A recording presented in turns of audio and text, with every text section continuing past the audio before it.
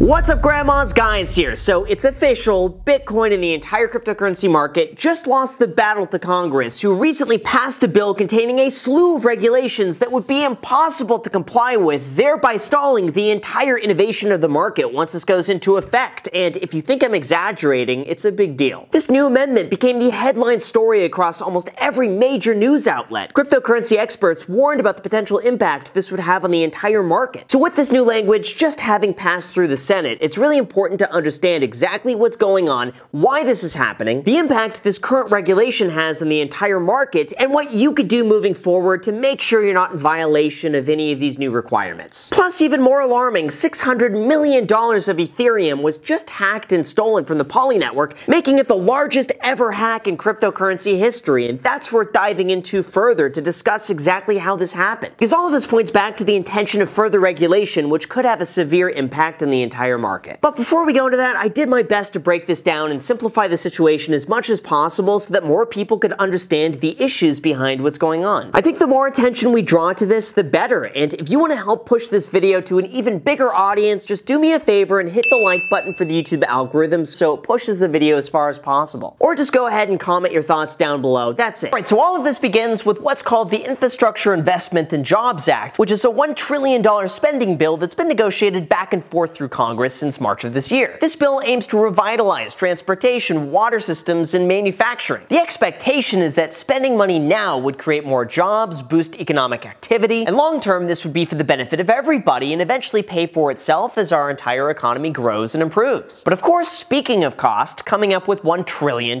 is not exactly free. In order to pay for this, a corporate tax hike was initially proposed to increase from the 21% where it currently is to 28%, along with a minimum tax of 20 21% for any multinational corporations to make sure they don't just set up headquarters in Ireland and then pay nothing. But during negotiations, a corporate tax hike was avoided, and it was determined that a new infrastructure package could be paid for using untapped COVID relief funds, leftover federal unemployment dollars, and more stringent tax collection, among other measures. And one of those measures, as you guessed it, includes cryptocurrency. Well, by now you're probably thinking to yourself, But Graham, what does cryptocurrency have to do with the infrastructure package? Well, this is what's known as a pay for, which is a provision within the bill to help generate enough revenue to offset the cost of spending in other categories and gain the support of both sides. In this case, cryptocurrency was the pay for, with what seems like on the surface an innocent enough request that you would expect to generate $28 billion in tax revenue. Just make sure that cryptocurrency brokers properly keep track of all of their records and issue 1099s when people make a profit. So that way, customers could pay their fair share of taxes just like they would on anything else else. But the way it's currently written within the infrastructure package makes it take on an entirely different meaning, and that's where the problem begins. See, when most people think broker, you think, Oh, it's a brokerage where I place an order to buy and sell my cryptocurrency. That's not that big of a deal. I'm cool paying my fair share of taxes on these bountiful profits. But the term broker, as Congress wants it, encompasses a whole lot more than just that. In this new bill, a broker is defined as any person who, for consideration, is responsible for regularly providing providing any service effectuating transfers of digital assets on behalf of another person. And it doesn't take an expert to see that under this verbiage, a broker could be pretty much anybody. Bitcoin miners could fall under this category because they help facilitate the transfer of digital assets on behalf of another person. Validating transactions for the blockchain could also fall under this definition, as would developing a currency, staking a currency, providing softwares, or becoming any other sort of intermediary between the person who buys and sells cryptocurrency. This new language language would require those services to gather their customers' social security numbers, addresses, and other information to be able to issue them a 1099 and report exactly who obtained the currency you provided, which we all know is pretty much flat out impossible. Like if you're mining Ethereum, you have no idea who's the recipient on the other end. If you're developing a new project, an NFT or a smart contract, you can't control the buyer to give you their information for tax reporting purposes. Now in light of this, it became apparent that this was an issue and several amendments were put in place to more clearly define who exactly a broker is and to exclude those that are not actually the company you're buying and selling from, but unfortunately it was not that easy. Senator Ted Cruz attempted to strike out the entire cryptocurrency provision altogether, but failed. Senator Cynthia Lummis expanded on the definition of a broker, but that fell flat. Pat Toomey then drafted a revision correcting the cryptocurrency language with hopes of it passing through with unanimous consent. But one person objected with the request to add on an additional $50 billion onto the amendment for defense spending. Although after some back and forth, that was even said to pass through, although last minute, another person objected to the $50 billion spending provision, and after all was said and done, these revisions went nowhere. As a result, throughout the last week, there's been a large uproar against these terms by Elon Musk, Jack Dorsey, and Ted Cruz, with even the CEO of Coinbase saying it makes absolutely no sense. And as it stands right now, here's the potential impact. Now, ultimately, the big cryptocurrency brokerages out there are not going to see a major change because they already keep close records on customer activity anyway. But creators of NFTs, miners, validators, manufacturers of hardware wallets, and developers are going to be challenged with a unique problem. Collect customer data and then issue them a 1099 for all cryptocurrency transactions, which is impossible, or they'll be forced to work outside the US, stop their activity, or operate illegally, which none of those solutions are good. And the harsh reality is, Congress has a very limited understanding of the nuances within cryptocurrency. And in an attempt for more stringent oversight and regulation, they wound up harming the very intention of cryptocurrency to begin with, which would be decentralized innovation. Now, part of me doesn't blame them for a lack of understanding, because even for me, cryptocurrency is a very complicated topic, and I'm doing my best to immerse myself in as many details as I can. But understanding how it works on a deep level is likely not a task that Congress can do on their own. Thankfully, these changes are not likely to go into effect until 2023, which gives it another chance at being changed before any long-term damage is done. But really, defining so many participants of cryptocurrency as a financial institution is a gross misrepresentation of the word. And until it's corrected, it's really up to us to bring about more financial awareness for cryptocurrency, how it works, and how it's become a really powerful part of our economy. However, some of that regulation was due in part to stories like this, where $600 million of Ethereum was just stolen from Poly Network, which was the largest amount ever reported in cryptocurrency history. Shortly after the incident, Poly Network tweeted that we're sorry to announce that Poly Network was attacked on Binance Chain, Ethereum, and Polygon. Assets have been transferred to the hackers following addresses. We will take legal action, and we urge the hackers to return the assets. They also included a public letter addressed to the hacker asking that they get in touch to resolve the issue. I'll leave the letter right here for a moment for anyone who wants to read the entire message. Now, it's important to mention that this is not a usual hack where someone gains access to a computer and then steals all of the money. But instead, this attack was caused by a vulnerability between contract calls, which is another way of saying they found a vulnerability in the smart contract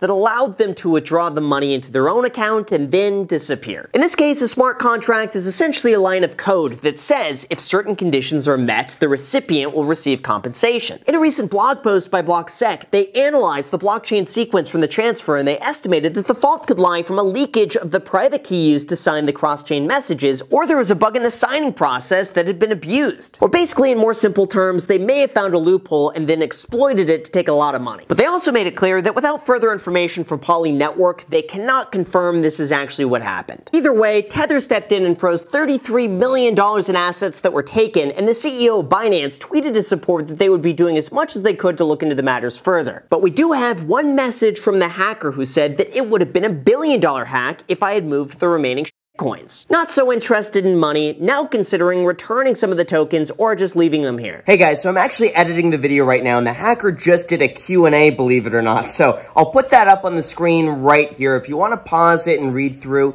these responses are actually pretty interesting. And so far, he did return about $4 million.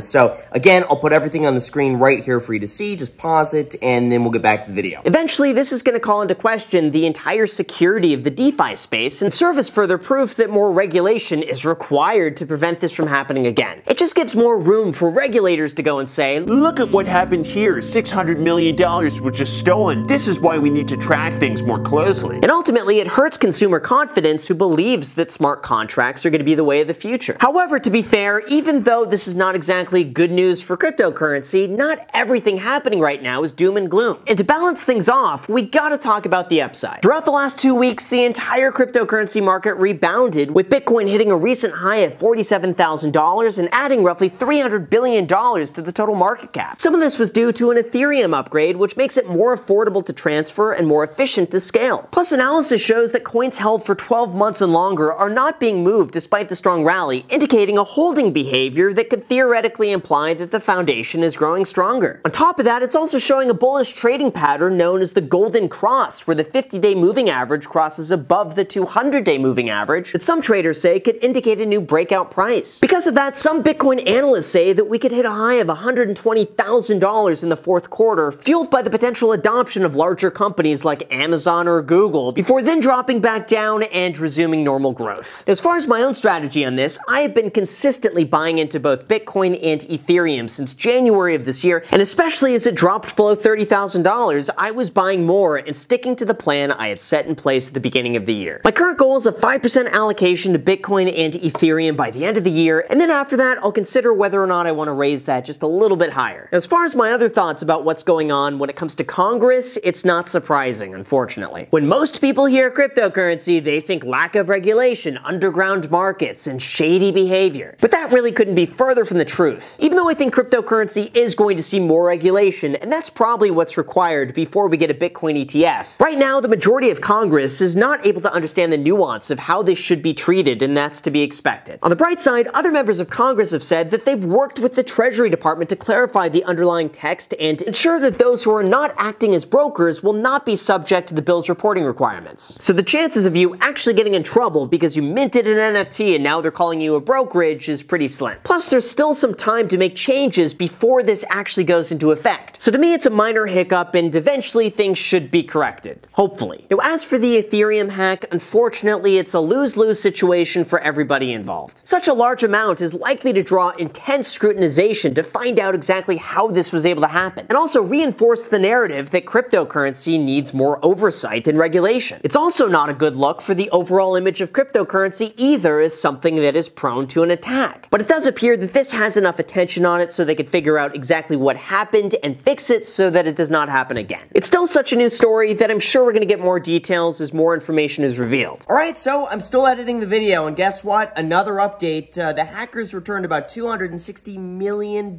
so far. So every few minutes, there seems to be another update, but uh, that's the latest so far. So until then, the best that we could do is take the proper precautions to make sure your cryptocurrency is safe, be careful when you invest, and most importantly out of everything, smash the like button for the YouTube algorithm. So with that said, you guys, thank you so much for watching. I really appreciate it. As always, make sure to subscribe and hit the notification bell. Also, feel free to add me on Instagram. I post pretty much daily, so if you want to be a part of it there, feel free to add me there as my second channel, The Graham Stephan Show. I post there every single day, don't post here. So if you want to see a brand new video from me every single day, make sure to add yourself to that. Thank you so much for watching, and until next time.